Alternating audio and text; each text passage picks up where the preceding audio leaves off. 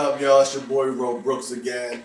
You already know why I'm looking dapper right now. You know, we're about to do another month's calendar.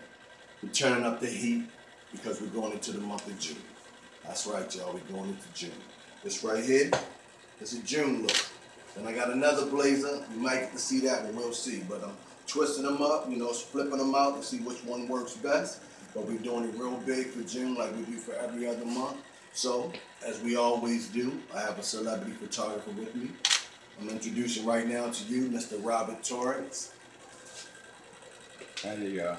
All I am is a photographer that I get a chance to shoot good people and great celebrities. He's just a cool guy. All I know is I stand here and he makes me look good. So we're gonna hold it down. We're gonna bring to you this new June calendar. Just look forward to it. You know where to go at robrooks.com. Go on there, download it, put it in your house, put it on your refrigerator, put it in your room, do whatever you want to do with it. But we're gonna do it every month just like this for the rest of the year. It's your boy uh, Ro Brooks once again. We're doing it big. See you soon. Peace.